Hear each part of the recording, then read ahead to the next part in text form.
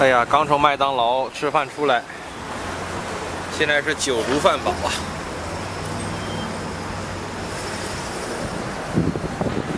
它这个季节竟然有卖草莓的，这让我很意外啊！一般来说，草莓在匈牙利的话是六月份就结束了。啊，这有一个大哥在这要饭。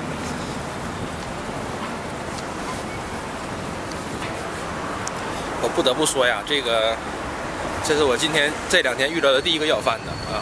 而且这个大哥是残疾人，但是在这面能要多少钱呢？就是从华沙的这个建筑上来看呢，这个地方应该是个非常富裕的国家，啊，不亚于北欧，因为所有的墙都是粉刷过的，所有的这个地上也都很干净，人们的素质也很高。但是从经济上来看呢，它又是一个非常穷的国家。哎，这东西我很难说清楚到底是为什么，但是我觉得生活在这个国家和生活在北欧没有区别啊，就是因为它这个价值系统是一样的。